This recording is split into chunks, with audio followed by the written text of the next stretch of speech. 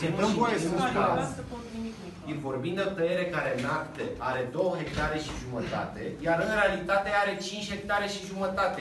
Ce fel, ce, ce vă mai trebuie? Ca să Are, domnul șef de opor, are în acte 2 și în realitate 5? În aceleași acte, în aceleași... uh, Vă rog să angajament, spuneți. Tot 2,5 hec- uh, 2,5 hectare sunt.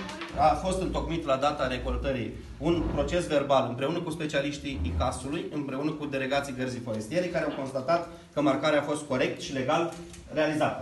Deci, dumneavoastră Avem- spuneți că suprafața are 2,5 Aici, hectare, în pentru acest- nicio măsură a nu păstrat care limitele despre A asta e păstrat, vorba, 5. dacă aveți răbdare, este un document întocmit în anul Haideți să vorbim și de realitate, nu mai de Păi nu pe document. realitate, dați domnule documentul. Nu, de aici se poate măsura. Auzi, dar nu facem noi o măsurătoare după aceea de precizie? Ba, da, asta- Și ieșim din toată zona aceasta a speculării?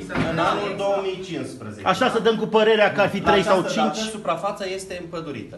De la anul 2015 e posibil să fi parcurs la nu știu ce dată satelitară aveți dumneavoastră acolo. Dar la această dată a fost, am documentul din anul 2015 care spune în felul următor. A fost constituită partida 895. În planul decenal explică tot ce s-a întâmplat acolo și în final spune așa. Prin punerea în valoare pe suprafața integrală de 2,5 hectare a rezultat un volum de 2227. Punerea în valoare este corect efectuată. Nu există diferențe între elementele dendrometrice din teren și cele înscrise în actul de punere în valoare peste toleranțele admise.